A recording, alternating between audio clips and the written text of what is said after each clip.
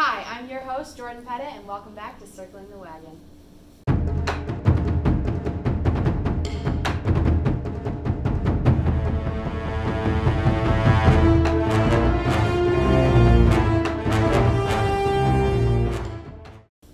The Pioneers kicked off their fall sports season this past weekend. In other news, here's our newest segment, The Hot Seat.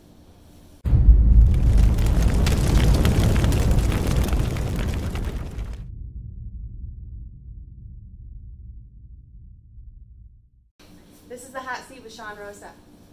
He has 30 seconds to answer 10 questions. Are you ready? Ready. Okay. What year are you? Freshman. What's your hometown? Walker, New York. Favorite food? Chicken. Favorite color? Yellow. Dream job? Athletic trainer. Weird talent? I can flex my pecs. Sports team? New York Giants.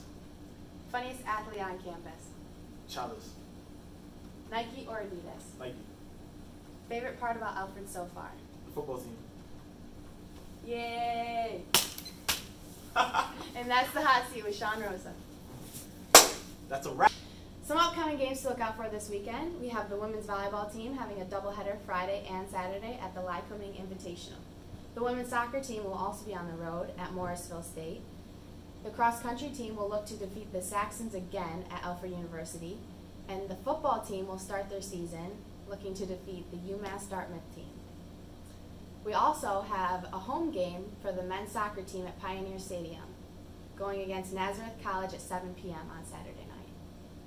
Thank you for watching, and I'll see you next week.